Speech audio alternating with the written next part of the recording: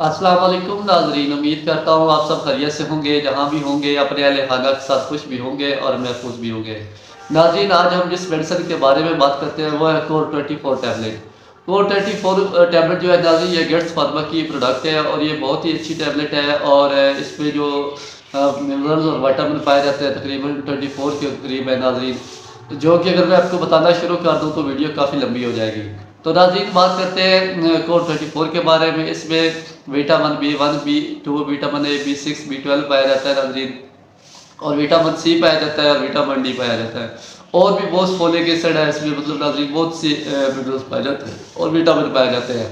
नाजीन ये हमारे बालों के लिए सबसे ज़बरदस्त टैबलेट है, जो कि हमारे बालों के सफ़ेद होना या हमारे बालों का गिरना उसके लिए ये ज़बरदस्त टैबलेट है नाजरीन ये बालों को गिरने से बचाती है। इसके साथ नाजरीन हमारे हाथों और पाँव की जो उंगलियों के नाखन हैं, वो टूटना शुरू हो जाते हैं या भरना शुरू हो जाते हैं नाजरीन तो उसके लिए भी ये बहुत ही ज़बरदस्त टैबलेट है। इसके साथ नाजरीन ये हमारे चेहरे की खूबसूरती के लिए ये बहुत ही अच्छी टैबलेट है, क्योंकि इसमें विटामिन ई पाया जाता है और विटामिन सी पाया जाता है, जो कि हमारे चेहरे की शाइस्तगी को बढ़ाती है और हमारी जो चेहरे की जो फेस लुक क्या है उसको भी यंग रखती है। तो नाजरीन, ये चेहरे के लिए भी बहुत ही अच्छी टैबलेट है। इसके साथ नाजरीन, ये हमारे पट्ठों, जोड़ों और हड्डियों के लिए भी बहुत इफ़ेक्टिव टैबलेट है, क्योंकि इसमें विटामिन बी पाया जाता है विटामिन सी पाया जाता है और इसमें विटामिन डी पाया जाता है जो कि हमारी हड्डियों को मज़बूत, मजबूती फराम करता है और इसमें विटामिन बी ट्वेल्व पाया जाता है। नाजीन जो कि हमारे साफी निज़ाम को ताकत देता है पट्टों के लिए, कमज़ोरी के लिए, जोड़ों की कमज़ोरी के लिए तो उसमें भी नाजीन ये इस्तेमाल होती है। ये हमारी हड्डियों में जो खुदरा पाना आ जाता है, ये हमारी हड्डियाँ कमज़ोर जाती है अक्सर। कर तो नाजीन उसके लिए ये बहुत ही अच्छी टैबलेट है।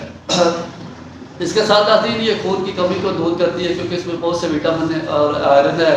जो कि हमारे आयरन डेफिशिएंसी को दूर करती है और इसके साथ जो हमारे ब्लड में रेड सेल होते हैं नाजरीन उसको ये इम्प्रूव करती है। तो नाजरीन, इसके साथ ये जनाना और मर्दाना मर्द के लिए भी ये बहुत ही अच्छी टैबलेट है क्योंकि ये जो देखिए रिप्रोडक्टिव सिस्टम होता है बॉडी में, उसको ये बढ़ाती है और ख़ासकर मर्दाना जो स्पर्म काउंट होता है नाजरीन, उसको ये बढ़ाती है। तो जितने भी मर्दाना या जनाना मसाइल होते हैं उनकी स्पर्म का या जितने भी मसाइल हैं नाजीन उसके लिए बहुत ही अच्छी टैबलेट है। इसके साथ नाजीन ये बुज़ुर्गों के लिए बहुत ही अच्छी मेडिसन है, क्योंकि कुछ बुज़ुर्ग जो है, किसी बीमारी की वजह से या अपने किसी और प्रॉब्लम की वजह से ज़्यादा टाइम जो है वो अपना खाना नहीं खा सकते या वो किसी, पहले किसी बीमारी में मुबला होते हैं तो उसके बाद अगर वो दोबारा रिवर्स होना शुरू हो जाते हैं तो वो उनकी खाने की जो रूटीन है वो काफ़ी डिस्टर्ब हो जाती है। जिसकी वजह से नाजिन उनका जो एक ताकत का निज़ाम है, जिसम की एबिलिटी होती है नाजिन वो बहुत हो रही होती? है तो इंसानी जिसम की जो पावर एबिलिटी नाजिन उसको बोस्ट करने के लिए भी ये बहुत ही अच्छी टैबलेट है। और ये खासकर बुज़ुर्गों को भी इस्तेमाल करवाई जाती है ताकि उनकी हड्डियाँ जो कमज़ोर होती हैं, उनको ताकत मिले, साबी निज़ाम की जो सिस्टम है, उसको ताकत मिले ब्रेन का जो है नाजीन उसकी जो सिस्टम है, उसमें जो है ताकत मिले।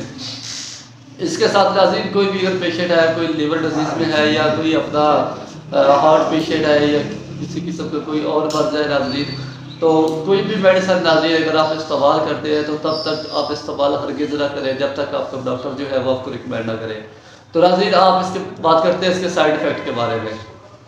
नाजी साइड इफ़ेक्ट में इसके जो है मतली हो सकती है, डायरिया हो सकता है मोशन हो सकते हैं चक्कर आ सकते हैं, घबराहट हो सकती है नाजीन अगर आपको इन मल्टीविटामिन से या मिनरल से किसी एक से भी एलर्जी है तो आपको नाजीन रैशेस पड़ सकते हैं।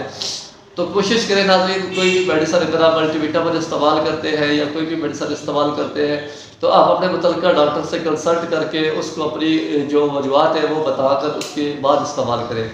तो नाजरीन, आप बात करते हैं इसके इस्तेमाल की। इस्तेमाल में नाजरीन, ये रोज़ाना के तौर पर आप एक गोली खा सकते हैं खाने के बाद। खाने के एक घंटे के बाद आप एक गोली रोज़ाना के तौर पर नाजरीन इस्तेमाल कर सकते हैं।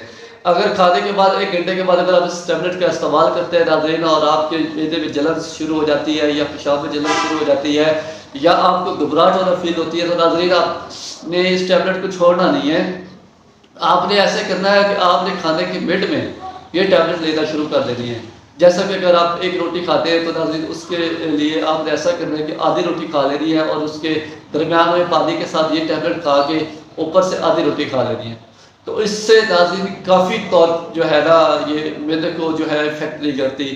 जो एक मैदे को ये जाके तकलीफ़ पहुँचाती है नाजरीन वो जो है तंग नहीं करती।